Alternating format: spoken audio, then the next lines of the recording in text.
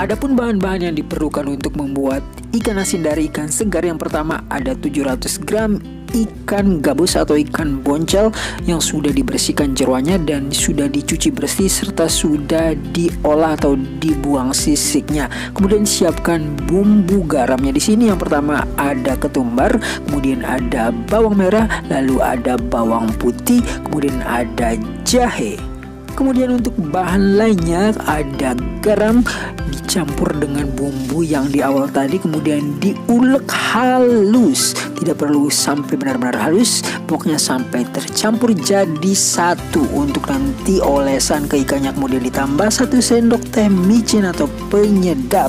Jadi saya pakai garam, kemudian pakai micin juga pakai kaldu bubuk. Jangan lupa tambahkan asam jawa.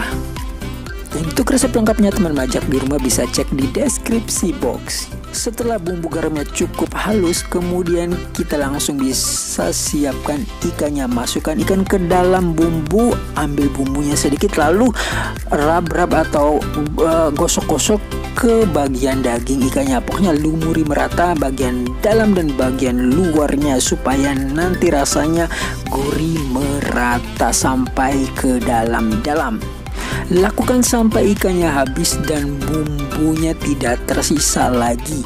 Dari pengalaman saya untuk menggunakan ikan yang kecil saja karena ikan yang besar itu bakal lama dijemur atau keringnya. So pakai ikan yang ukurannya tidak terlalu besar. Kemudian setelah bumbu dan ikannya tercampur diamkan dulu 60 menit sebelum dijemur setelah itu baru jemur ikannya di terik panas yang benar-benar panas jadi dijemur langsung kena sinar matahari dan harus panas karena supaya ikannya itu cepat kering dan tidak bau bangseng atau seperti bau busuk seperti itu oke selanjutnya kita jemur sampai benar-benar kering sekitar 3 sampai 5 hari.